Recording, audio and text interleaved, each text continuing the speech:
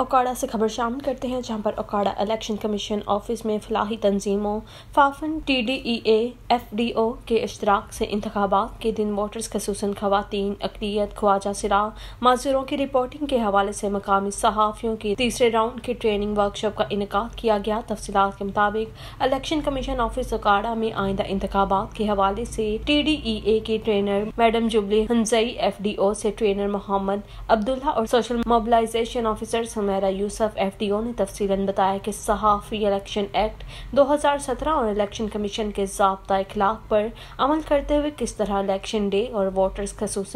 खवतिन, अकलीत, ख्वाजा सिरा माजूरों की मुस्बत रिपोर्टिंग करके मुआरे में अहम किरदार अदा कर सकते हैं। वर्कशॉप में इलेक्शन कमीशन ऑफिसर ओकाड़ा और सहाफ़ियों के दरमियान खसूसी नशत का भी इनका किया गया है। इस मौका पर सहाफ़ियों से बात करते हुए उन्होंने बताया कि इंतखाब के रोज़ सहाफ़ी कानून और जबता अखलाक के मुताबिक अपनी मुस्बत रिपोर्टिंग से अहम किरदार अदा कर सकते हैं। किसी भी वाक़े की रिपोर्टिंग करना सहाफ़ी का पूरा हक है। अलबत् सरकारी मुलाजमीन या इंतबी अमले के साथ अच्छा बर्ताव करते हुए सहाफ़ी मस्तका इतलात के मुताबिक रिपोर्टिंग करी। इस पर उन्होंने जिला अखाड़ा की सहाफ़ी बरदरी की मस्बत सहाफत को खूब सहराया आखिर में तमाम सहाफ़ियों को उनकी खिदमत के सिला में उनको तारीफी असनाद भी दी गई